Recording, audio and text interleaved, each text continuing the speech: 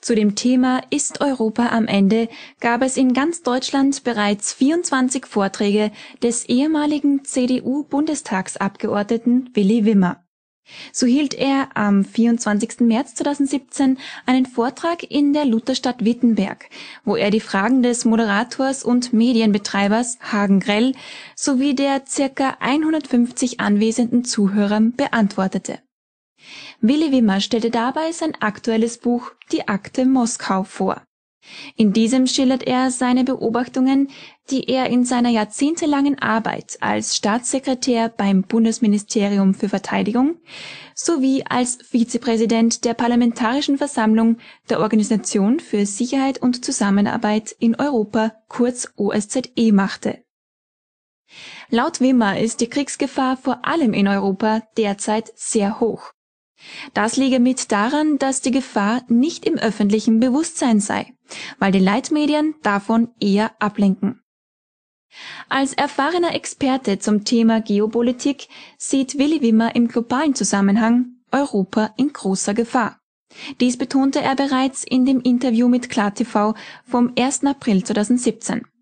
Doch sehen Sie nun das ungekürzte Gespräch zur Thematik Ist Europa am Ende?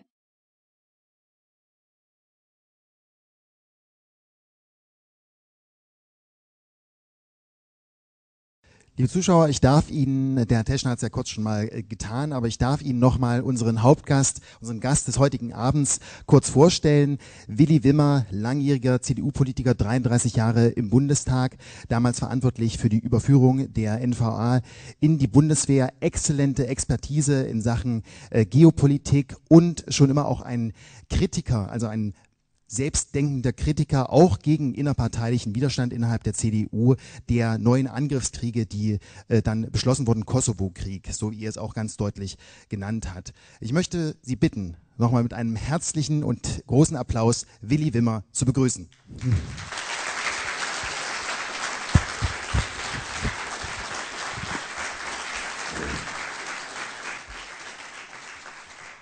Herr Wimmer, Ihr Ihr neues Buch, können wir das noch ein bisschen lauter machen? Herr Wimmer, Ihr neues Buch, Die Akte Moskau, ähm, ist ja quasi, stellt ja auch ein Stück weit die Frage, wie sich diese Politik entwickelt und die Frage der Veranstaltung, die wir heute stellen, ist ja auch, ist Europa am Ende? Vielleicht als kleinen Rahmen möchte ich mit dieser Einstiegsfrage mal beginnen. Ist Europa am Ende? Ich äh, habe vor wenigen Tagen, die Frage ist natürlich äh, nicht einfach zu beantworten, ich habe vor wenigen Tagen das gemacht, was ich in dieser Zeit immer mache. Ich habe mir CNN-Nachrichten angesehen äh, und äh, kann jetzt eigentlich nur für dieses klassische Medium werben, für CNN und auch für BBC, weil alles das, was uns umtreibt, in äh, Echtzeit über diese Nachrichtenkanäle kommt. Und äh, es hat da ein Interview gegeben mit dem ehemaligen amerikanischen Verteidigungsminister Rick Perry. Der war Verteidigungsminister in der Zeit von Bill Clinton. Und äh, die Interviewpartnerin hat ihn gefragt, wie er die heutige Situation einschätzt. Und er hat die Frage sehr klar beantwortet, indem er gesagt hat, selbst zur Zeit des Kalten Krieges haben wir nicht in einem solchen Risiko eines Nuklearkrieges gelebt, wie wir das derzeit tun. Und er hat gleich dahinter gesagt, das bedeutet für mich das Ende der Zivilisation. Jetzt habe ich ja die Zeit des Kalten Krieges, wie viele hier in diesem Raum auch, äh, aktiv in verteidigungspolitischer oder sicherheitspolitischer Hinsicht erlebt. Wir haben immer gewusst, dass es intensive Kanäle zwischen beiden Seiten geben würde, um das Schlimmste zu verhindern. Und das, was wir heute haben, ist eine Situation, in der wir uns nicht mehr darüber im Klaren sind, ob es überhaupt noch Kanäle gibt, die verhindern, dass aus welchen Gründen auch immer das, was militärisch gespielt wird, in einer Katastrophe mündet. Und wenn ich diese Äußerung von Perry als Teil für alles andere nehme, dann brauche ich ja nur auf äh, den römischen Papst Franziskus zu verweisen, der seit einer Reihe von Monaten davon spricht, und wer will das eigentlich bei uns hören, dass wir uns im Dritten Weltkrieg befinden würden. Das heißt, wir sind in einer Situation, die uns eigentlich umtreiben muss oder müsste und sehen eine Politik, die sehenden Auges ihre Beiträge zu dieser schwierigen Situation liefert. Und wenn wir sagen, was macht ihr da eigentlich, werden wir in eine Ecke gestellt, diffamiert, mundtot gemacht und wir werden vor allen Dingen in Zusammenhang mit der deutschen Presse, ich rede ja nicht über, die, über CNN und BBC, in diesem Zusammenhang, wir werden in eine Situation gebracht, die sich meilenweit von dem unterscheidet, mit dem wir groß geworden sind, jedenfalls im westlichen Teil Deutschlands. Wir hatten eine pluralistische Presse, eine Presse, die die Meinung der Bevölkerung zum Ausdruck gebracht hat, die unterschiedlichen Positionen, die es natürlich in diesem Volk gibt zu allen Fragen. Und wir haben seit dem völkerrechtswidrigen Krieg gegen die Bundesrepublik Jugoslawien eine Situation, dass Pluralismus in unseren Medien nicht mehr stattfindet. Wir werden nur noch auf Krieg getrennt. Und wenn ich mich mit der Frage beschäftige, ob Europa zu, am Ende ist, Europa wird es möglicherweise als Landmasse noch nach den Befürchtungen von Herrn Perry geben. Aber wenn ich mich mit der Frage beschäftige, was hat dieses Land und dieses Europa eigentlich lebenswert und aus meiner Sicht auch liebenswert gemacht, dann ist das alles den Bach runtergegangen in den letzten Jahren und wir sollen dazu schweigen. Und ich sage das im Zusammenhang mit ähm, der letzten Vereidigung eines Bundespräsidenten im Reichstagsgebäude. Ich habe noch nie in meinem Leben einen Bundespräsidenten erlebt, der eigentlich die Verfassung kennen müsste, der so für den Krieg plädiert hat und die Übernahme deutscher Kriegsverantwortung in anderen Teilen der Welt wie der letzte Bundespräsident, der vor wenigen Tagen in die ewigen politischen Jagdgründe eingegangen ist. Das muss man ja mal. Das muss man ja so sagen, wie es ist. Und äh, um nicht hier stundenlang zu reden, will ich aber äh, auf äh, Herrn Grells Frage in Zusammenhang mit dem institutionellen Europa auch eine Antwort finden. Wir haben vor einigen Wochen, ich glaube zwei, drei Wochen her, haben wir gehört, dass der Kommissionspräsident der Europäischen Union, Jean-Claude Juncker, Bildchen gemalt hat über die künftige Entwicklung der Europäischen Union. Und diese Bildchen machen deutlich, dass wir es zwischen den, jetzt sage ich das mal, polnischen Überlegungen aus der Europäischen Union so etwas wie eine große Freihandelszone zu machen und offensichtlich Berliner und Pariser Überlegungen über die Europäische Union zur Auflösung unserer Nationalstaaten zu kommen, einen riesen Unterschied gibt. Und das macht natürlich deutlich, dass die Frage von Herrn Grell nicht irgendwo abseits in der sachsen-anhaltinischen Provinz ge gestellt worden ist, sondern von brennender Aktualität ist. Das ist die Frage, die uns in den nächsten Wochen und Monaten umtreiben wird. Und wir wissen doch alle, wie es aussieht. Wir haben die Wahl in den Niederlanden gehabt. Wir stehen jetzt vor den Wahlen im Saarland. Wir haben die Wahl in Frankreich. Wir kriegen die Bundestagswahl bei uns. Wir haben vorher noch die Wahl in Nordrhein-Westfalen. Meine Damen und Herren, die Dinge, mit denen wir es zu tun haben, hängen an einem seidenen Faden. Und wenn das so ist, ist doch dieses Volk aufgerufen, seine Meinung zu machen über das, was in diesem Land passiert. Und wo kommen wir eigentlich hin, dass wir in einer Situation leben, wo gerade hier in Halle, in Leipzig, die Jünger von Josef Goebbels und von Herrn Röhm als schwarze Blocks durch die Gegend turnen und ja, was machen die? Vertreten knallhart die NATO-Linie. Das macht doch deutlich, mit was wir es hier zu tun haben. Und das ist doch ein Punkt für uns, wo wir sagen, nein, Das ist ein bürgerschaftliches Deutschland, da müssen wir gehört werden und wir legen Wert darauf, dass das auch so ist.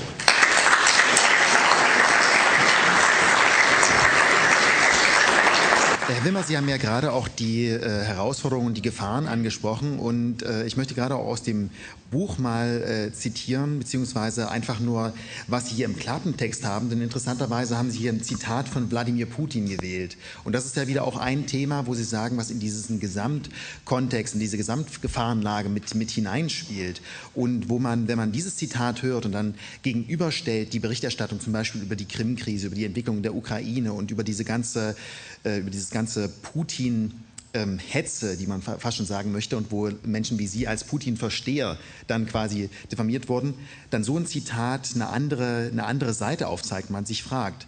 Hier steht, Putin, zitiert ist Wladimir Putin vom äh, anlässlich der Pressekonferenz vom 18. Dezember 2014.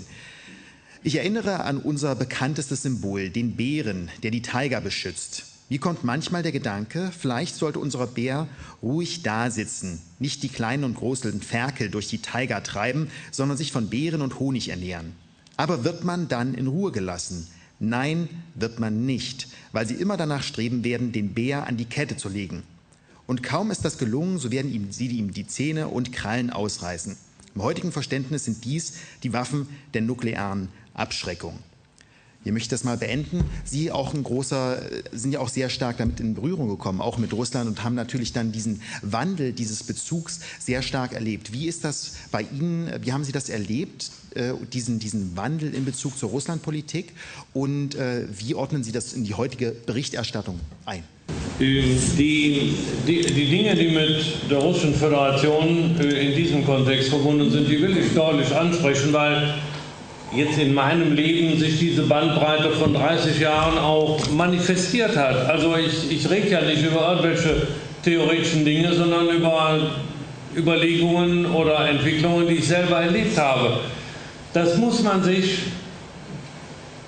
und es wird ja oft über zwölf Jahre deutscher Geschichte geredet, das muss man sich auf der Zunge zergehen lassen, dass heute in den Vorgärten, wenn ich das mal so übertragen sagen darf, von St. Petersburg wieder deutsche Panzer stehen. Das muss man sich auf der Zunge zergehen lassen. Und es ist ja nicht nur die Frage, wir wissen das ja vielfach gar nicht, was da los ist, aber es ist auch die Frage danach, was wird in St. Petersburg dazu gedacht, in der Russischen Föderation. Das ist doch das Bild, dass die ehemaligen Feinde sich mit den ehemaligen Alliierten zusammengetan haben und jetzt gemeinsam an der russischen Grenze stehen. Und St. Petersburg ist doch ein Synonym dafür, wie fürchterlich die Geschichte gewesen ist und wie schrecklich sie letztlich geendet hat. Man muss sich doch mal auf den Gräberfeldern von St. Petersburg bewegen, um diese Dimension zu sehen. Und meine Damen und Herren, das machen wir sehenden Auges mit.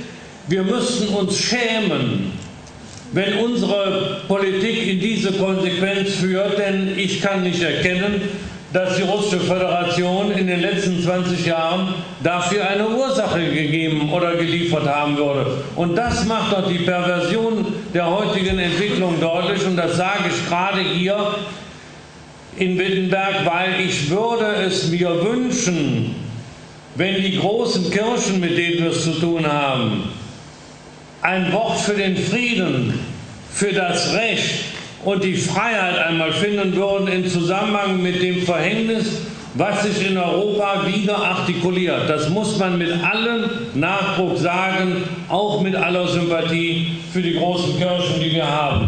Und meine Damen und Herren, das geht 30 Jahre zurück. Ich war im Sommer 1988 als verteidigungspolitischer Sprecher meiner Bundestagsfraktion, der CDU-CSU-Bundestagsfraktion, mit allen Verteidigungspolitikern in Washington. Das habe ich immer so gehandhabt, nach Washington zu fahren, weil wir damals eine Situation hatten, wo die amerikanische Regierung uns besser unterrichtet hat als jede Bundesregierung, die es in Bonn gab. Also wir kriegten alles, was wir brauchten an Informationen in einer großzügigen Art und Weise, wie das in Bonn durch die eigene Regierung gar nicht dargestellt wurde. Und Wir wurden vom Flughafen nicht ins Hotel gebracht, sondern der Bus bog ab in Richtung Hauptquartier der CIA nach Langley. Da war die, die ganze Führungsschicht der CIA versammelt und wir bekamen etwas präsentiert, das muss man sich heute auf der Zunge zergehen lassen, weil es genau in die heutige Situation passt. Die haben uns damals gesagt, das war ja die Hochzeit des Kalten Krieges, alles das, was wir ihnen jahrzehntelang gesagt haben, vergessen Sie jetzt mal, das sind jetzt meine Worte. Alles das, was die Sowjets in Mitteleuropa machen, das ist lediglich der Schutz von mütterschen Russland. Und das machen die als historische Konsequenz aus Napoleon und Hitler.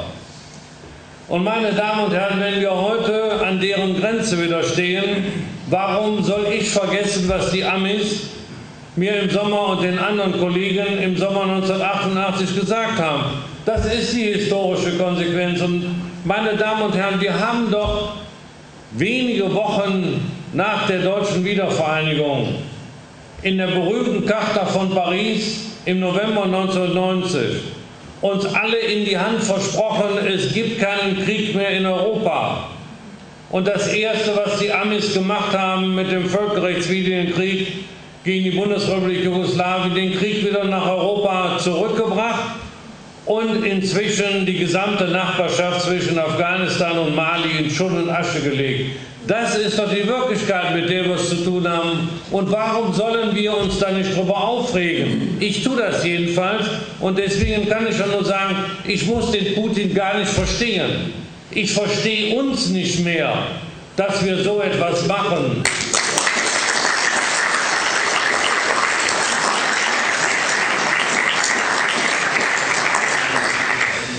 Nun haben Sie auch gerade darüber gesprochen und Sie sind ja auch sehr äh, in, diesem, in dem Thema, ist auch, schlägt auch sehr Ihr Herz von der ähm, atomaren Gefahr, das heißt der Gefahr eines äh, Atomkriegs, der immer auch trotzdem schwebt. Wir haben es lange vergessen, trotzdem sind die Waffen immer noch da. Auch Russland sehr stark und sehr gut damit ausgerüstet, natürlich in Fragen der äh, Abschreckung und um sich eben auch selber zu schützen.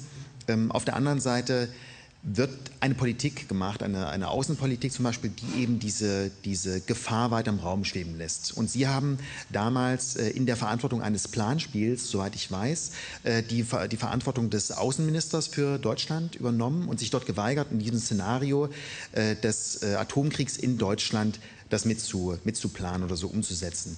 Vielleicht können Sie mal sagen, was auch in diesem Moment, ich meine, die Leute denken immer, ja, das ist ja nur ein Spiel und so weiter, aber Sie sind ja viel näher auch an dieser Politik dran. Sie haben direkt die Informationen von den Amerikanern, auch wie Sie gerade gesagt haben, bekommen, von der CIA bekommen. Wenn, wenn man solche Informationen hat und dann mit so einem Spielszenario damals konfrontiert wird und dann wiederum die heutige Politik sieht, was geht einem da durch den Kopf und wie entwickelt sich das? Ja, es ist letztlich immer die Frage danach, wie wir unsere nationalen Interessen sehen Ähm, es ist nicht eine akademische Frage, dass ich das äh, mitmache, was die NATO ähm, haben will. Das sehen wir ja ganz aktuell in den Entscheidungen, die in Berlin getroffen werden, über den Einsatz der deutschen Bundeswehr im Zusammenhang mit den Konflikten, die um uns herum ja nun in schöner Regelmäßigkeit stattfinden.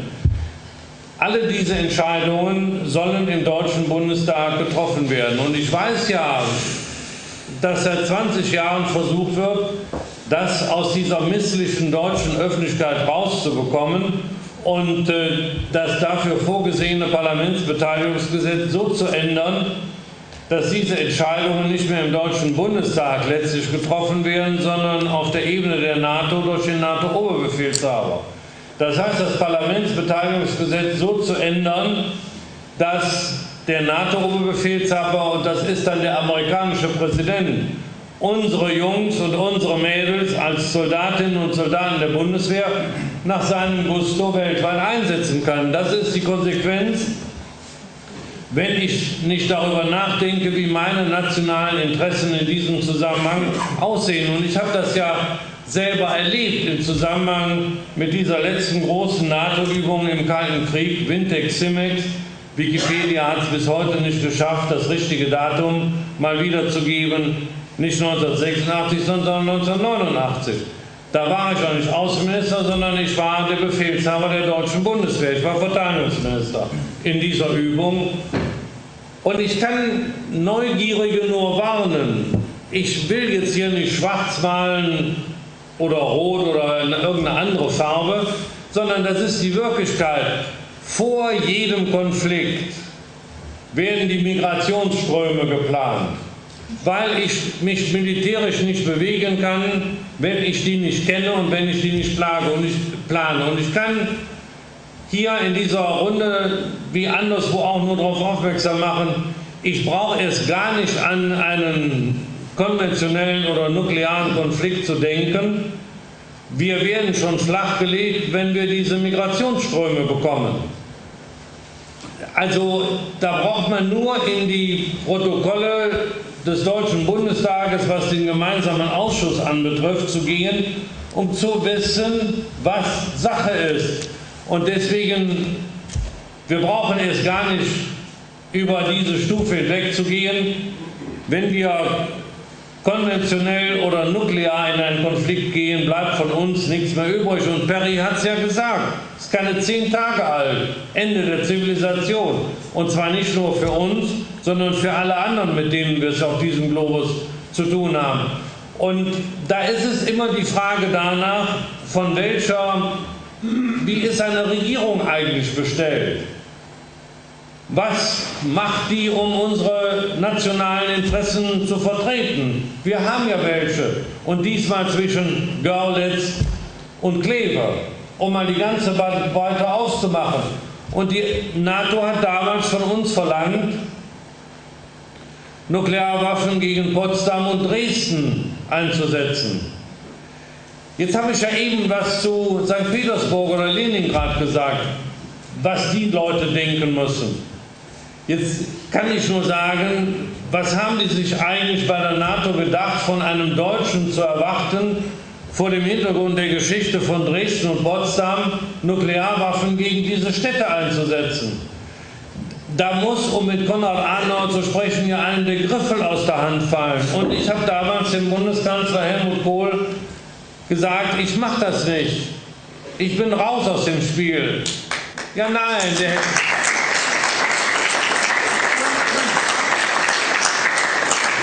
Der Helmut Kohl hat damals keine fünf Minuten gezögert und hat die Bundesrepublik Deutschland, und das war ein einmaliger Vorgang in der Geschichte unserer Mitgliedschaft in der NATO, der hat die Bundesrepublik Deutschland aus dieser Übung rausgezogen.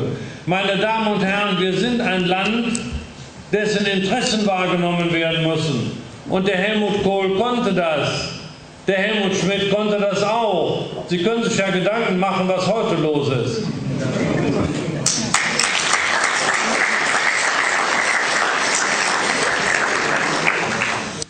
Herr Wimmer, Sie hatten es gerade, bevor wir auch auf die äh, Politik weiter auch eingehen, Sie hatten auch darüber gesprochen, über Migration. Und äh, viele Menschen haben, äh, ich bemerke das auch gerade in der Berichterstattung, äh, die ich mache, sind immer bei diesem Thema sehr entweder verwirrt zurückhalten und sagen, das hat nur was mit Menschlichkeit zu tun, zum Beispiel jetzt die Flüchtlingsströme und so weiter. Das hat nur was damit zu tun, dass diejenigen, die das ablehnen, böse Menschenhasser sind oder so oder böse Rassisten oder sowas. Und Sie haben das aber auch auf einer planerischen, strategischen Ebene erlebt. Und auf einer planerischen, strategischen Ebene sind ja Migrationsströme was ganz anderes und bedeuten auch was ganz anderes. Vielleicht können Sie auch mal kurz erklären, was das bedeutet. Ja, wir müssen ja die Gesamtentwicklung so sehen, wie sie ist. Und es hat, das muss ich auch in dieser Runde sagen, alles etwas mit den Überlegungen im Zusammenhang mit der deutschen Wiedervereinigung zu tun. Die Dinge, die 2015 oder wann auch immer gelaufen sind, die sind doch schon seit fast 30 Jahren absehbar. Das wussten wir doch, was auf uns zukommen würde. Als wir die Gespräche im September, Ende September, Anfang Oktober 1989 in Moskau geführt haben, habe ich nicht nur den Sicherheitsberater von Gorbatschow, Marschall Akromejew, zu einem 200-stündigen Gespräch treffen können, sondern auch mit ähm, dem langjährigen Botschafter der Sowjetunion in Bonn, mit Herrn Falin, reden können. Und Herr, Falin hat mir bei diesem Gespräch andere haben das auch getan, gesagt, wir erwarten in Anbetracht der globalen Situation, mit der wir es nun zu tun haben, Probleme von der Umwelt bis zur Wirtschaft, wir erwarten eine Migrationswelle vom indischen Subkontinent in der Größenordnung von 300 Millionen Menschen, die sich auf dem Weg nach Europa machen werden. Wenige Wochen vorher sitze ich mit Vertretern deutscher Stiftungen in Tokio und die berichten mir davon, dass nach allgemeiner Einschätzung in der damaligen Volksrepublik China, die wollen ja heute immer nur sagen China, sich etwa 50 Millionen Wanderarbeiter auf den Weg machen, um innerhalb Chinas Arbeit zu finden. Die müssen in jedem Jahr mindestens 6,5 Prozent Steigerung des Bruttosozialproduktes haben, um in jedem Jahr die zuwachsenden 17 Millionen Arbeitsplätze zu schaffen. Das war damals für mich eine ständige Größe, weil das war die Bevölkerung der DDR, 17 Millionen. Ich wusste, was das bedeutet. So, und wenn das in China nicht mehr möglich ist, das sind inzwischen 100 Millionen nach internationalen Einschätzungen, dann werden sie sich auf den Weg machen. Ja, meine Damen und Herren, das muss man ja alles nüchtern sehen, was da ist. Und wir wussten damals genauso gut wie heute, wir leben wie eine Fettblase auf diesem Globus. Wir hier bei uns. Und wenn die Leute das spitz kriegen, machen die sich auf den Weg und wir haben damals gewusst, was aus Schwarzafrika auf uns zukommen würde. Und die damalige Bundesregierung, vor allen Dingen unter dem Außenminister Kinkel, zusammen mit seinen westeuropäischen Nachbarn, mit denen wir immer engstens zusammengearbeitet haben, mit Holland, mit Dänemark und mit anderen, die haben dafür Konzepte entwickelt und haben, wenn ich das mal so salopp sagen kann, gesagt, wir werden die Möglichkeiten der Europäischen Gemeinschaft, das war es ja damals, nicht Europäische Union, wir werden diese Möglichkeiten ökonomischer Art auf den nördlichen Rand von Schwarzafrika erstrecken und die Staaten zwischen Syrien und Marokko ökonomisch so ertüchtigen, dass sie in der Lage sind, diese Signale auch friedensstiftend nach Schwarzafrika weiterzugeben. Ein Bollwerk, wenn Sie so wollen. Denn wir waren uns darüber im Klaren, wenn die sich auf den Weg machen, kann man sie nicht mit militärischen Mitteln aufhalten. Das verbietet sich. Dann ist Europa humanitär am Ende, wenn solche Bilder entstehen. Und ich kann Sie nur ermuntern, gehen Sie ins Internet, da können Sie heute noch nachfinden, nachsuchen und finden, was deutsche Generale gesagt haben über Grenzsperrungen am Brenner, ob die gehen oder nicht. Das liegt inzwischen 27 Jahre zurück. Das Zweite, was wir gesagt haben, das war damals Regierungspolitik, also nicht irgendwo in einem akademischen Zirkel. Das war, dass die KSZE, die ja bei uns friedensstiftend gewirkt hatte, sonst hätten wir ja die Wiedervereinigung heute noch nicht, dass diese KSZE auch in diesem Raum tätig sein sollte. Das ist wegen der Interessenlage anderer aus den Schwierigkeiten einiger arabischer Staaten Israels und der Vereinigten Staaten als Konzept zerschossen worden. Und das gab es ab Mitte der 90er Jahre nicht mehr. Und das Ergebnis haben wir heute zu bewundern. Die Staaten sind nicht ertüchtigt. Es herrschen Mord und Totschlag von uns dahin gebracht. Und dann machen sich natürlich die Leute auf den Weg, und zwar aus zwei Gründen.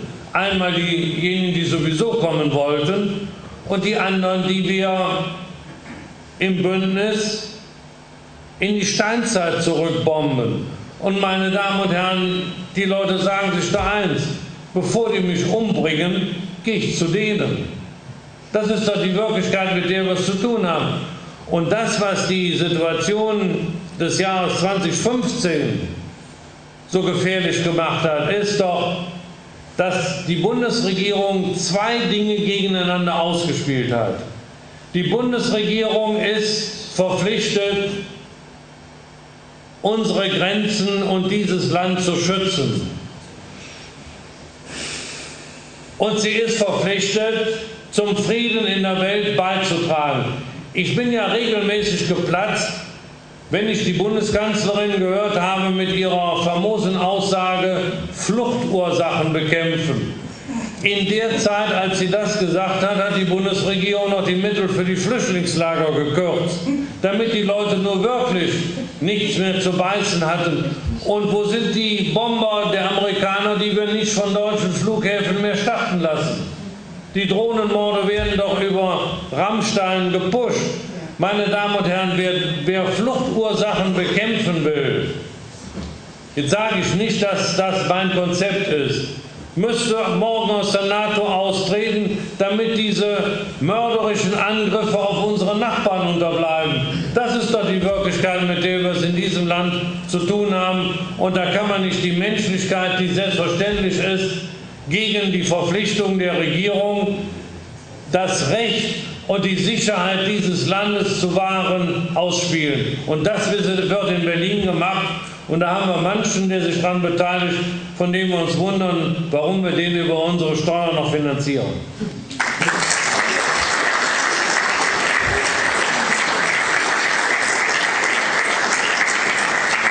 Herr Wimmer, jetzt haben Sie das auch gerade gut zusammengefasst. Äh, die Motivationen für die Migrationsströme. Das heißt, wir haben auf der einen Seite einen Druck und auf der anderen Seite einen Sog, wenn man so möchte. Also es wird quasi geschoben und gezogen.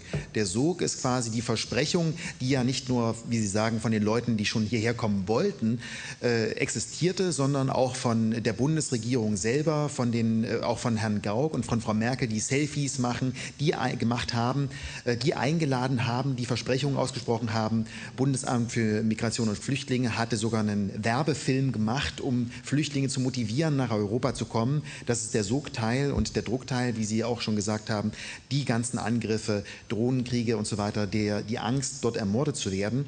Und jetzt gibt es natürlich äh, sogenannte oder in der Presse sogenannte Verschwörungstheoretiker, die dort von Absicht sprechen. Und jetzt ist die Frage an Sie, von der Bundesregierung oder von der EU ähm, oder von wem auch immer. Sehen Sie dort eine Absicht? Ist das eine Strategie oder ist das quasi nur ein unglücklicher Zufall? Also wenn, wenn ich die letzten 27 Jahre Revue passieren lasse und weiß, wie lange diese Probleme zurückgehen, dann kann ich doch nur sagen, da kann ich doch selbst als Rheinländer eins und eins zusammenzählen und komme zu einem Ergebnis.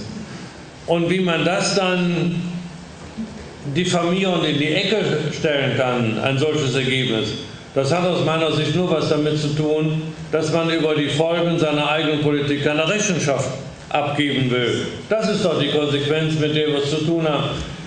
Warum, warum haben wir eigentlich in Zusammenhang mit dieser Entwicklung nie im deutschen Fernsehen, die machen ja einen Tatort und eine Verblödungssendung für Kochkurse nach der anderen,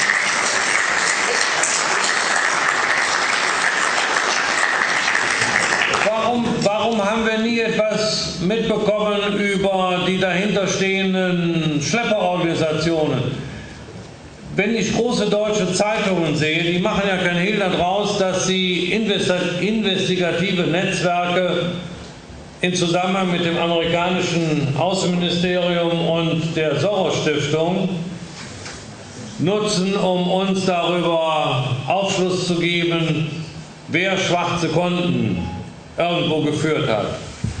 Also wer so viel investigativen Mut in Anführungszeichen aufbringen kann, warum gehen die nicht mal hin und machen dolle Berichte, aufschlussreiche Berichte über die Fluchtrouten?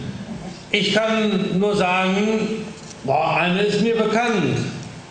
Ich habe vor einigen Jahren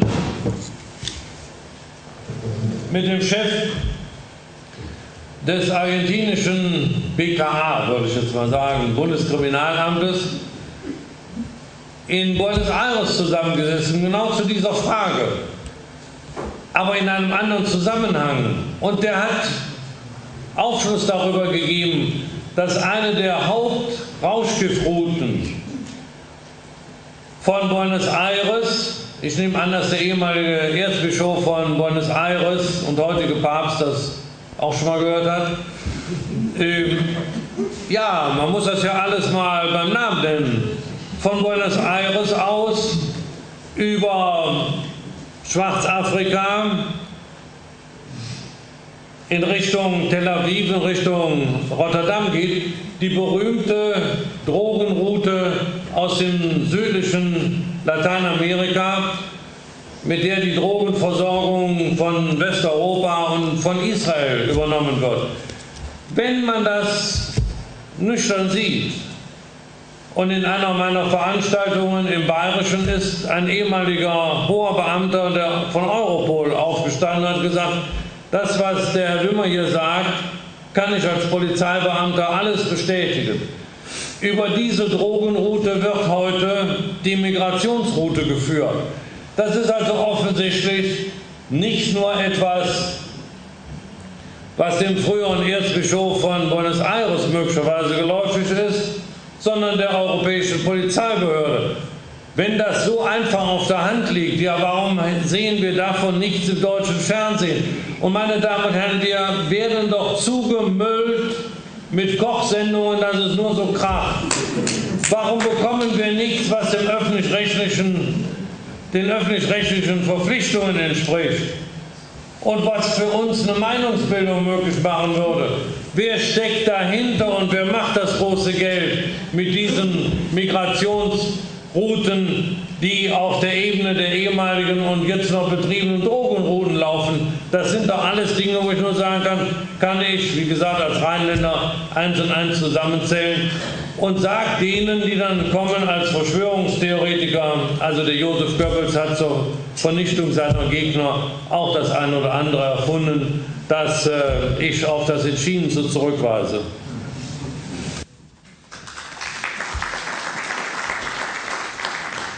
Wir haben gerade über die Medien gesprochen, aber natürlich äh, gibt es auch Meinungen äh, über die Bevölkerung zum Beispiel und darüber, wie man mit ihr umzugehen hat aus der Politik. Und ich möchte Sie mal mit drei äh, Zitaten konfrontieren. Die sind jetzt nicht direkte Zitate, aber viele kennen das wahrscheinlich schon aus dem Internet. Zum Beispiel das erste ist von Angela Merkel, die gesagt hat, ähm, man kann sich nicht darauf verlassen, dass das, was vor den Wahlen gesagt wird, auch nach den Wahlen gilt. Zweites Zitat von Herrn Gauck ähm, war das in einer, in einer Talkshow direkt oder in einem äh, Interview, wo er gesagt hat, nicht die Eliten sind das Problem, sondern die Bevölkerung ist das Problem. Und nochmal Frau Merkel, die erst kürzlich gesagt hat, ähm, das Volk ist, wer in diesem Land lebt. Und witzigerweise im Satz direkt davor gesagt hat, äh, es kann nicht sein, dass sich eine kleine Gruppe herausnimmt, zu definieren, wer das Volk ist. Wie sehen Sie da noch den, den Bezug zum, zum Volk, zur Bevölkerung, wenn solche Zitate gebracht werden? Ähm, also das, was äh, die Bundeskanzlerin in diesen beiden Zitaten gesagt hat, ähm, ist für mich Ausdruck von äh, Uckermarker Landrecht.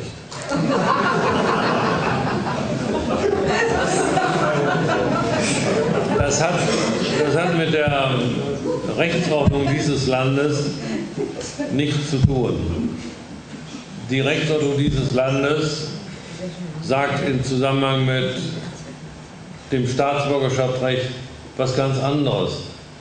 Ähm, ich weiß ja nicht, ähm, was da wirklich zwischen den Deckeln war, auf das der Eid abgelegt worden ist. Bei der Übernahme des Amtes. Also das äh,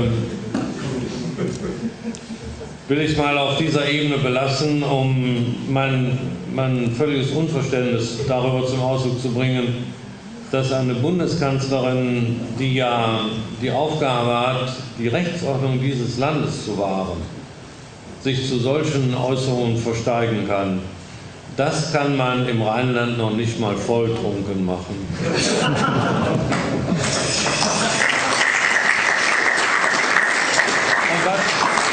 Und was den äh, ehemaligen äh, Bundespräsidenten anbetrifft, das will ich gar nicht äh, auf ihn jetzt zuschieben und sagen, das war Herr Gauck.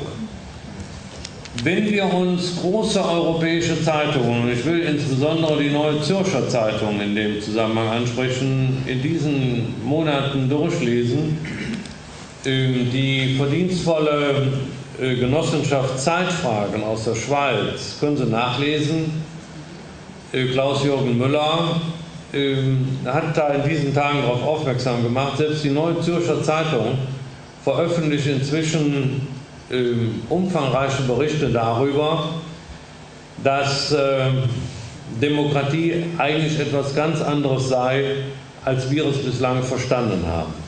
Mhm. Ähm, ja, das äh, ist nicht auf die leichte Schulter zu nehmen. Ich gehe davon aus, dass ich Bürger in einem freien Land bin und mich dann auch als Bürger frei äußern kann.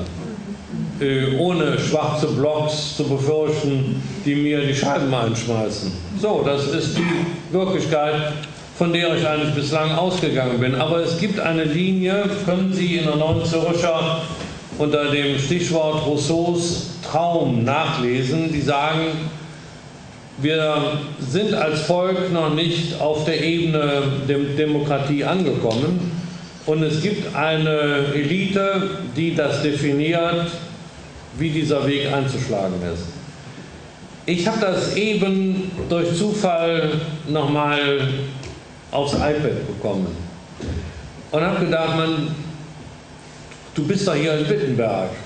So ist da auch mal der Sozialismus definiert worden. Und der Kommunismus auch.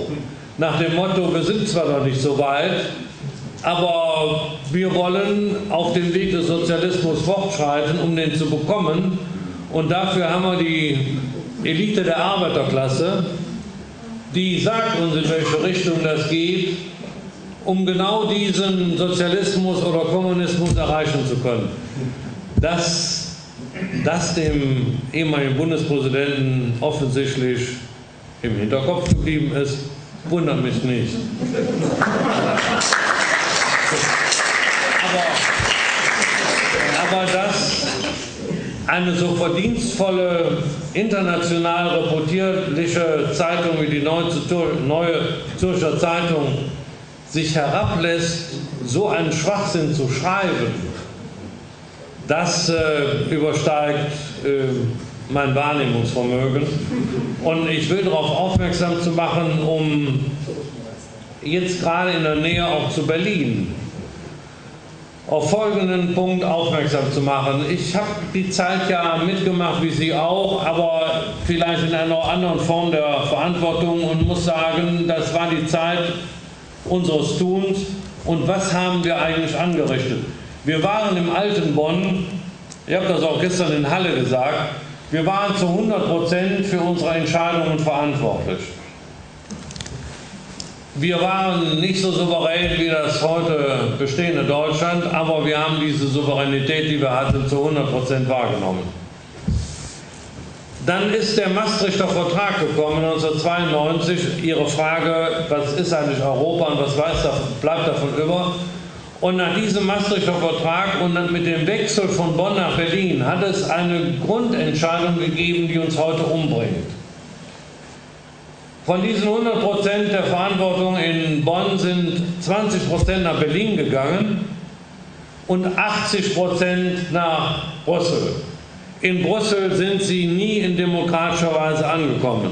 Sie sind in die Fänge von Nichtregierungsorganisationen und Lobbyorganisationen geraten und das ist ja auch unser Unmut mit diesem Moloch in Brüssel. Aber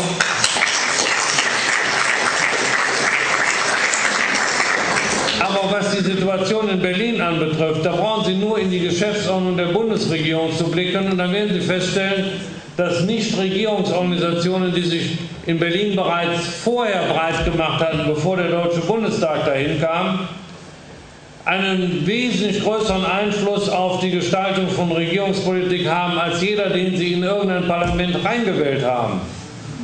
Und die haben einen solchen Einfluss, dass wir, jetzt komme ich wieder auf Ihr voriges Stichwort mit der Migrationsentwicklung zu sprechen. Wir gehen doch davon aus, dass die Zehntausenden von hoch, meistens gut bezahlten Beamten in der deutschen Bundesregierung nur wirklich die Regierungsarbeit leisten. jeden Gesetzentwurf schreiben, den das deutsche Parlament benötigt. Meine Damen und Herren, das hat es in Bonn noch gegeben.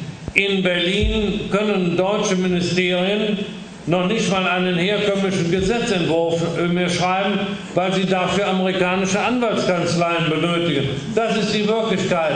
Und nicht nur Anwaltskanzleien, sondern Nichtregierungsorganisationen. In Zusammenhang mit der Migration hat es ja keine Regierungspapiere gegeben, sondern wenn das stimmt, was öffentlich berichtet worden ist, jemand aus einer Herrn Soros nahestehenden Organisation hat das Konzept für die Bundesregierung geschrieben. Meine Damen und Herren, wie verkommen muss eigentlich ein Land sein, in dem nicht die Regierung die Verantwortung für das übernimmt, was dieses Land nun dringend nötig hat.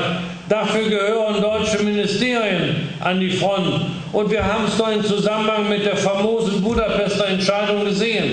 Der Bundesinnenminister wollte doch, nachdem die Bundeskanzlerin die Gesetze dieses Landes aufgehoben und bis heute nicht mehr in Kraft gesetzt hat, im Zusammenhang mit der Migration und der Öffnung unserer Grenzen, der Bundesinnenminister wollte doch die deutschen Grenzen schützen durch die Bundespolizei. Das hat er nicht machen dürfen. Das ist dann die Auswirkung, mit der wir es zu tun haben. Und wir sollen doch, sagen wir doch ehrlich, doch nur noch sediert werden im Zusammenhang mit der Entwicklung, die seither dieses Land äh, ergriffen hat. Wir sollen uns doch nicht, wir dürfen uns doch keine Fragen mehr vorlegen, warum es dazu gekommen ist. Und das hat alles was mit der Überlegung zu tun. Hier wollen sich einige jedes Recht unter den Nagel reißen, über uns zu entscheiden. Und meine Damen und Herren, das dürfen wir nicht zulassen.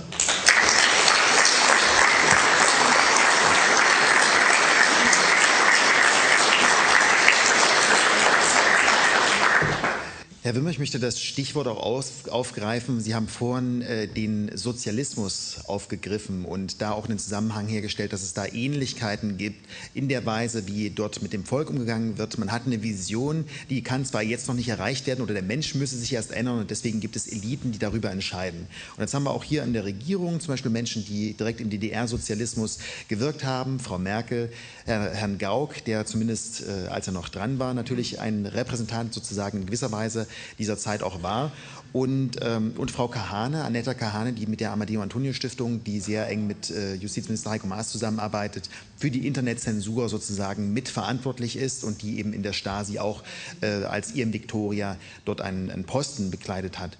Und äh, jetzt haben wir die deutsche Politik, die scheinbar in dieser Weise agiert. Jetzt haben wir die europäische Politik, wo wir wiederum, wie Sie schon gesagt haben, auch äh, Kommissare haben, die dort die Macht innehaben und das Europäische Parlament, was nicht mal einen eigenen Gesetzentwurf einbringen darf, amerikanische Anwaltskanzleien, die dann über solche Verträge wie jetzt zum Beispiel dann TTIP äh, oder andere äh, Einfluss nehmen können, wo man quasi eine international globalistische Politik hat, was auch wieder ein Ideal des Sozialismus, der ja mit der Internationale die Welt über, überrollen wollte. Und jetzt ist natürlich wieder eine große Verschwörungstheorie, wie man darüber redet, aber auch wieder offen an, an Sie gestellt die Frage. Sehen Sie dort eine, eine Parallele und wenn ja, welcher, welcher, welchen Plan kann man erkennen? Also ob man einen Plan äh, erkennen kann, das kann ich nicht beantworten. Es geschieht aber auf dieser Welt nichts durch Zufall. Also so viel ähm, muss ich natürlich auch sagen. Ich mache mir nicht die Mühe herauszufinden, wer das strickt, ob das die Bilderberger sind oder wer auch immer. Es wird jedenfalls gestrickt und es wird so nachhaltig gestrickt, dass wir die Folgen zu tragen haben. Und das muss man in diesem Kontext, muss man das äh, insgesamt sagen. Und wir sehen es doch in der heutigen Situation geradezu mustergültig. Und ich habe ja eben nicht ohne Grund auf den amerikanischen Sender CNN verwiesen. Wenn Sie wirklich wissen wollen, wie der, wie der Kampf und der Krieg derzeit aussieht, müssen Sie diesen Sender sehen, weil wir kriegen doch im Augenblick folgendes Bild geboten. Wir haben seit vielen Jahren den Aufmarsch gegen die russische Föderation. Haben wir eben drüber gesprochen. Und jetzt geht ein frisch gewählter amerikanischer Präsident hin und sagt, wenn Sie CNN hören, könnten Sie die ganzen Originaltöne bekommen und sagt, Wir haben uns, jetzt sage ich das mal für mich etwas salopp, wir haben uns überhoben. Das ist doch die logische Konsequenz, die dahinter steht. Wir wollen nicht mehr mit jedem Land Krieg anfangen, sondern wir wollen ein geachtetes Mitglied der internationalen Völkergemeinschaft sein. Das sagt Donald Trump und sagt außerdem, ich will mit den Russen harte Nüsse, ich will mit denen klarkommen. Ja, das, was wir doch im Augenblick erleben, ist doch, dass jeder in seiner Umgebung, der vielleicht diese Idee auch zu seiner gemacht hat, weggeschossen wird. Was soll denn das Ergebnis sein? Die Kräfte, mit denen wir es zu tun haben, die sind doch drauf und dran, ein Wahlergebnis, das es in den Vereinigten Staaten gegeben hat, ins Gegenteil zu verkehren. Da sollen doch offensichtlich die Obamas und McCains, also die Repräsentanten des militärisch-industriellen Komplexes, die sollen doch ungehindert ihre verhängnisvolle Politik weiter betreiben können. Und ich weiß doch, wovon ich rede. Ich war vor 14 Monaten auch zu Gast in Moskau, habe am Tisch von Wladimir Putin zusammen mit einem Amerikaner gesessen, mit dem General Flynn. Das Bild ist ja im Internet verfügbar. Da habe ich für mich gedacht, zum Glück sind nicht alle blöd.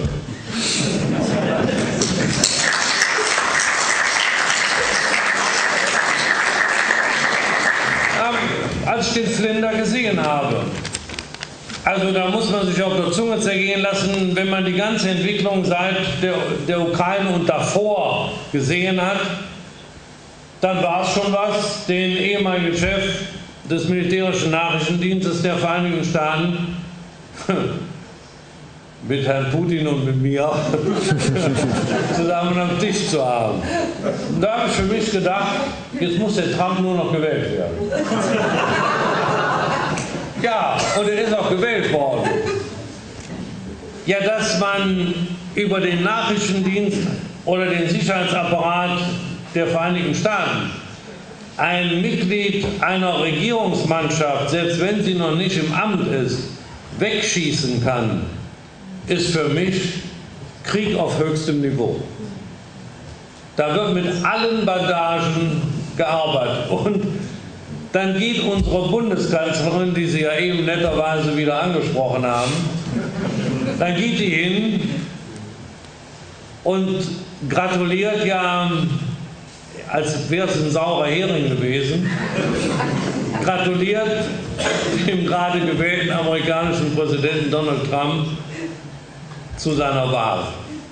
Konditioniert nach dem Motto, du musst dich benehmen, wenn ich auf Dauer mit dir reden will oder reden soll.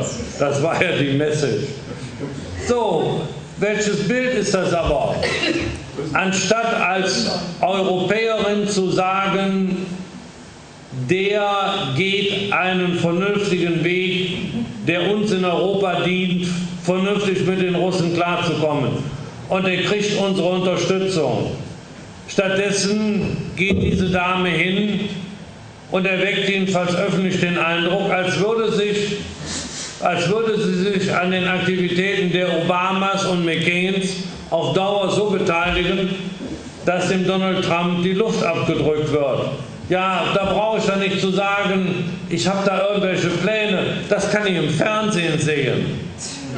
Das brauche ich, das brauche ich nur durch Knopfdruck jeden Abend mir anzusehen, wie die Kampfsituation in den Vereinigten Staaten ist. Und ich kann nun wirklich nicht verstehen, nachdem das so noch Krieg in unserer Führungsmacht ist, dass nicht das deutsche Fernsehen von morgens bis abends Sondersendungen über diese Entwicklung macht. Denn wir wären doch betroffen, wenn es schief geht. Und sie tun alles in Berlin und in Washington, damit es schief geht mit Donald Trump. Und deswegen kann ich nur sagen, das Verhängnis ist zu lokalisieren und da brauche ich keine Verdächtigungen zu artikulieren. Das sagen die Protagonisten selber jeden Tag im Fernsehen.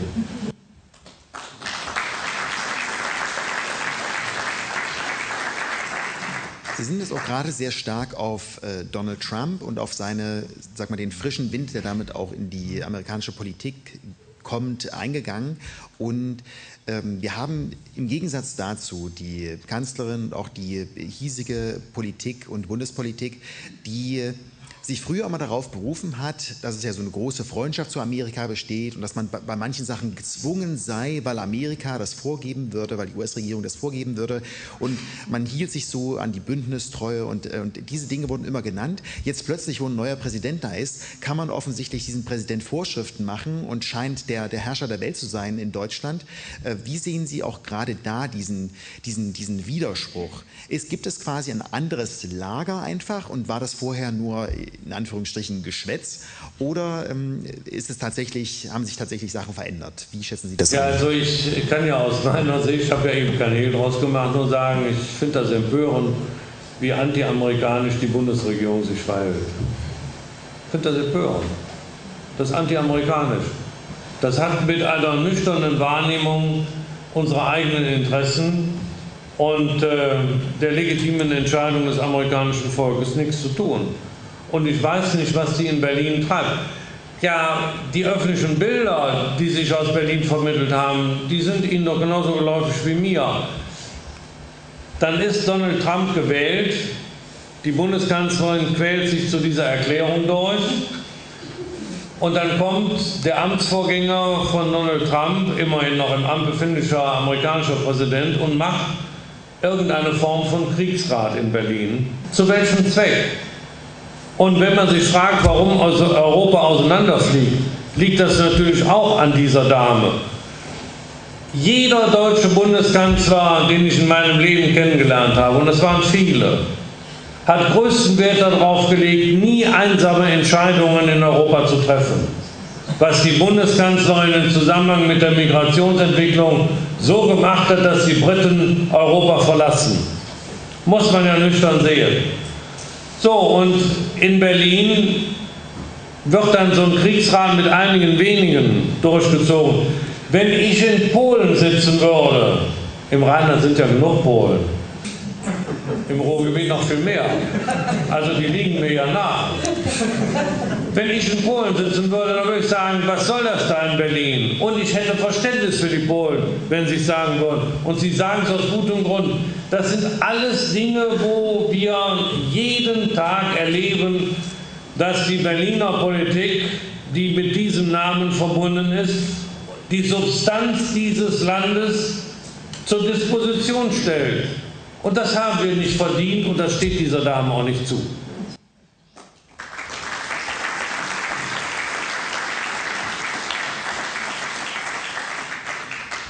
Nun haben Sie gerade schon äh, die Polen erwähnt und es gibt ja auch viele andere europäische Völker, die davon betroffen sind oder ein äh, Spieler in diesem, in diesem Spiel sind, beziehungsweise fast, sind, fast alle sind betroffen, wenn wir an Frankreich denken, an Polen, an Ungarn zum Beispiel, Griechenland als Route, Großbritannien auch als äh, Route oder als Ziel vieler, vieler Migranten und natürlich die Türkei, die jetzt nicht direkt zu Europa gehört, aber die eben auch, sagen wir mal, wie jetzt eine sehr starke Position gegenüber der EU einnehmen kann und auch einnimmt. Wie sehen Sie da auch die, die verschiedenen Interessen?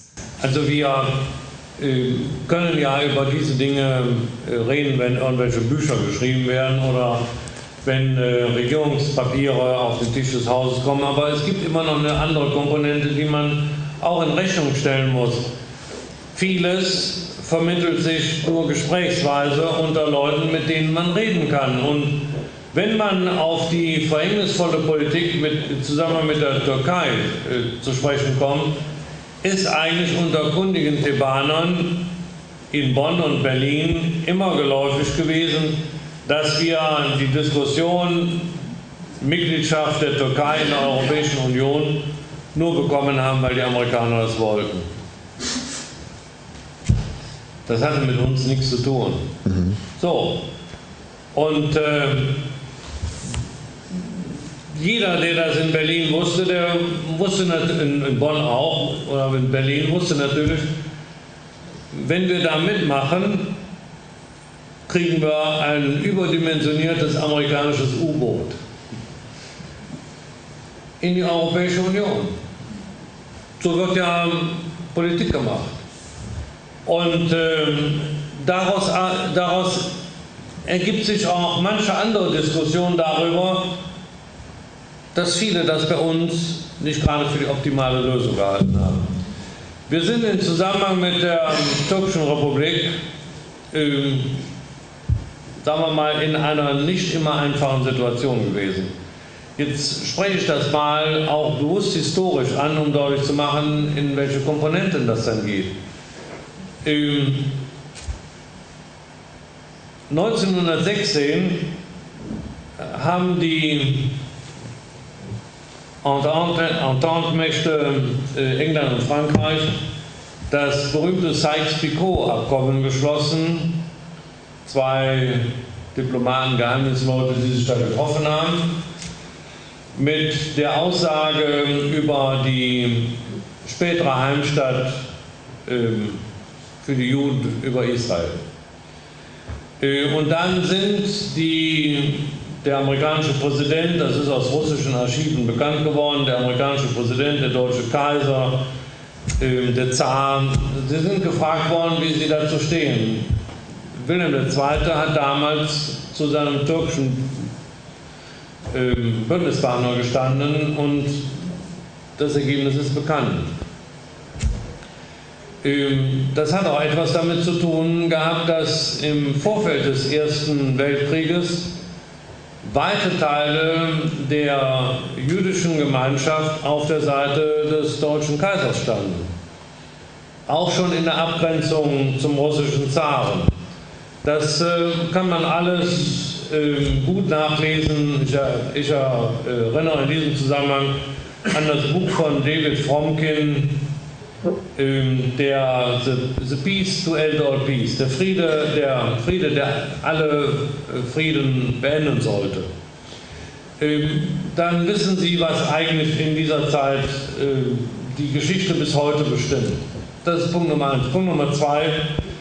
In den 60er, 70er Jahren hat es in der Türkischen Republik äh, große Auseinandersetzungen mit den Kurden gegeben. Und die kurdischen Großgrundbesitzer in den kurdischen Gebieten haben mit der türkischen Regierung gemeinsame Sache gemacht und äh, haben dieses kurdische Aufstandsgebiet, Diyarbakir und Umgebung, platt gemacht. Ich kenne dieses Gebiet, bin über dieses Gebiet geflogen, wenn Sie da drüber fliegen, Kilometer um Kilometer, Sie sehen nur wogene Getreidefelder und die Dörfer und die Städte und die Gutshöfe, die sind alle platt gemacht worden. 3000 Städte, Gemeinden, Gutshöfe. Die Kurden aus diesem Gebiet zwischen Diyarbakir und der irakisch-syrischen Grenze sind gezwungen worden, entweder nach Izmir, nach Istanbul oder nach Stuttgart oder nach Köln zu gehen. Wir sind also insoweit als äh, Deutschland äh, Auffanggebiet für innertürkische Auseinandersetzungen gewesen. Und das muss man natürlich alles das berücksichtigen, wenn wir es mit der Türkischen Republik zu tun haben und den Dingen, die in diesen Jahren laufen wir haben eine Historie, was die Türkische Republik anbetrifft, ob sie nun Osmanisches Reich oder was auch immer gewesen ist. Und wir müssen sehen, dass das Auswirkungen hat. Also auch gerade diese, diese Entwicklung, die Sie gerade beschrieben haben, im Zusammenhang mit, mit der Türkei und äh, auch mit den anderen europäischen Staaten, machen ja auch wieder die die Frage, die wir am Anfang gestellt haben. Ne? Ist Europa am Ende sagen wir, zu einer sehr, sehr brisanten Frage? Wir, haben, wir sind darüber äh, gegangen, dass verschiedene europäische Staaten andere Interessen haben, die sich durch auch Kommunikationsprobleme, die durch geschichtliche Probleme nicht mehr so vereinen lassen. Wir haben äh, festgestellt, dass es Menschen gibt oder politische Gruppen gibt, die hier offensichtlich jenseits der, des Volkswillens äh, regieren, jenseits des Volkswillens bestimmen. Wir haben schon auch darüber gesprochen, dass die, dass die Medien ein anderes Bild vermitteln und man offensichtlich nicht mehr die demokratische Kultur, die Sie auch noch eher kennen, dass der freien Meinungsäußerung hat. Ähm, damit haben wir quasi schon ein Stück weit die, die Randdaten des Patienten Europa äh, festgestellt. Wo sehen Sie denn vielleicht auch die Entwicklung, vielleicht auch in einem Bild, gibt es eine Möglichkeit daraus? Ist Europa am Ende, um das mal wieder aufzubringen, die Frage, äh, oder oder, gibt es auch eine Möglichkeit raus aus diesem Zirkel? Also die, ja, das ist ja mal äh, auch eine Frage, die jeder unterschiedlich beantwortet. Ähm, ich äh, habe im Jahr 2001 oder 2002 äh, meinen Mitarbeitern im Büro gesagt, ich habe ein ganz komisches Gefühl. Wir werden gar nicht mehr als Staatsbürger benötigt, sondern höchstens als Steuerzahler und als Konsumenten.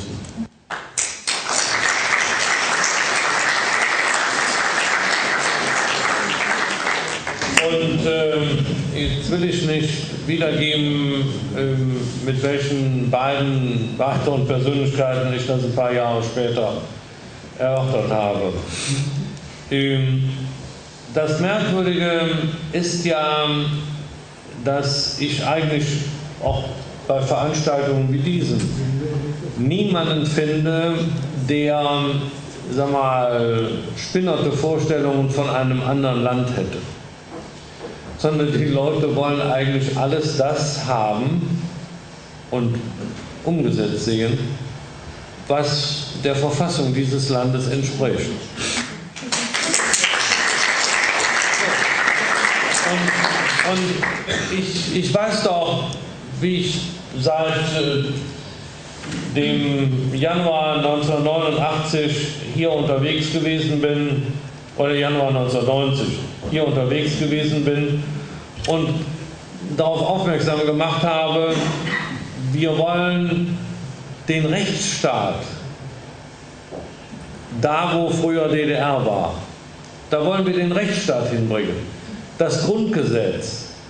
Das haben wir gemacht. Und jetzt gibt es in Berlin welche, die sagen, das interessiert uns alles nicht. Dann haben wir so Äußerungen, wie Sie sie eben wiedergegeben haben. Da kann ich nur sagen, Mann, oh Mann, dass man das in einem Leben alles erlebt, ist eigentlich erstaunlich.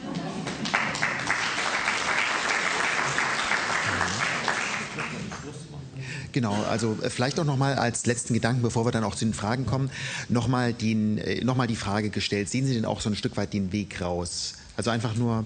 Also der, der Weg raus, ähm, also mir fällt da nicht viel ein, bis vielleicht den Hinweis auf die, die nächste Bundestagswahl. Hier wird ja auch nicht gewählt. Es wird ja in Sachsen, in Quatsch, im Saarland, Nordrhein-Westfalen und ich glaube in Schleswig-Holstein wird gewählt, aber hier nicht. Hier ist ja gewählt worden. Ähm, in Anbetracht der Probleme, mit denen wir es zu tun haben, über die wir ja heute auch gesprochen haben, ist das Entscheidende, dass wir keinen Krieg bekommen. Das haben Sie ja, Herr Töschner, eben auch gesagt. Man kann über vieles mit sich reden lassen, aber Sie müssen sich bei dieser Bundestagswahl genau ansehen, wer für was steht.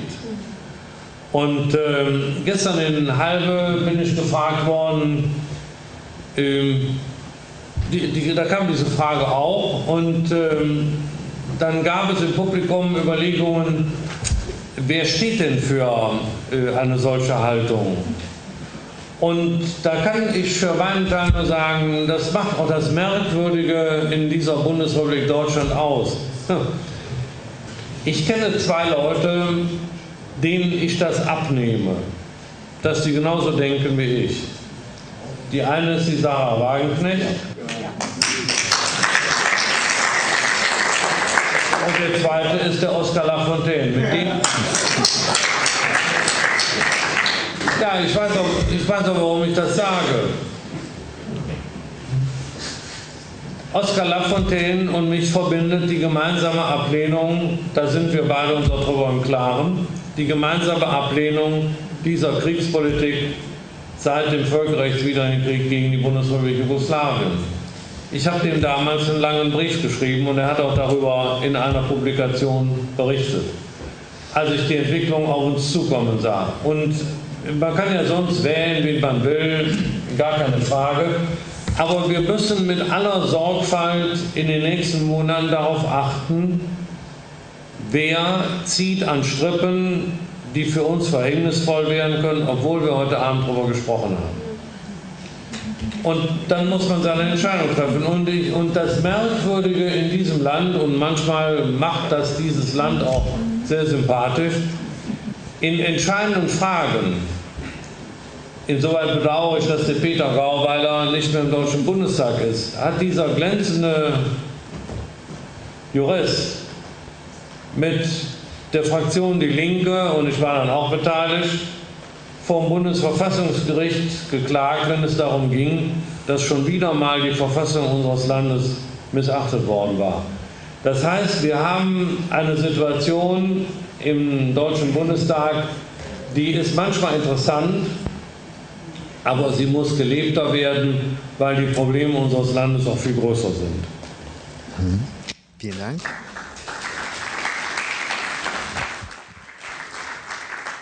So, liebe Zuschauer, damit kommen wir langsam zum äh, Ende der Veranstaltung. Wir haben das Jahr, das Jubiläum der Reformation. Wir sind in sehr turbulenten Zeiten und manchmal braucht es eben auch geradezu äh, historische Politiker, die mit einem äh, jahrzehntelangen Verdienst und eben der Kenntnis der Geschichte direkt vor Ort uns daran erinnern, in was für Zeiten wir leben, worauf wir vielleicht auch achten sollten und worauf wir vielleicht auch wieder unser Augenmerk richten können und da ehrlich drauf schauen, auch uns, wenn uns die Medien etwas an.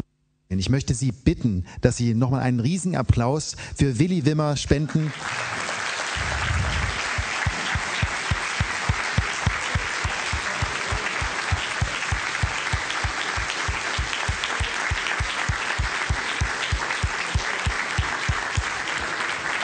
Riesen, riesengroßen riesengroßen Dank, Herr Wimmer, dass Sie, dass Sie da waren und dass Sie uns hier Rede und Antwort gestanden haben. Liebe Zuschauer, auch wenn Sie gerade noch mehr dazu erfahren wollen, auch aus äh, viele historische Geschichten oder viele Geschichten, die er auch selber erlebt hat, im Buch Die Akte Moskau, äh, die er jetzt noch nicht erzählt hat, äh, auch selber schon drin gelesen, vorne auch äh, zu erwerben und natürlich auch die Möglichkeit, äh, hier auch nochmal so mal den, den Dank für die Veranstaltung zu zu zeigen. Ich möchte mich auch nochmal herzlich bedanken bei Dirk äh, Teschner, der die Veranstaltung möglich gemacht hat und das Team hier vor Ort. Bitte nochmal einen Applaus.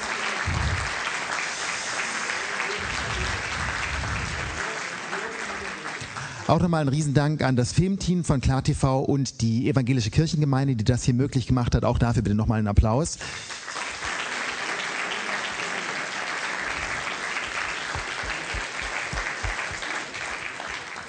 Mein Name ist Hagen Grell. Ich danke Ihnen recht herzlich, dass Sie hier waren und äh, bis zum nächsten Mal. Vielen Dank und einen schönen Abend noch.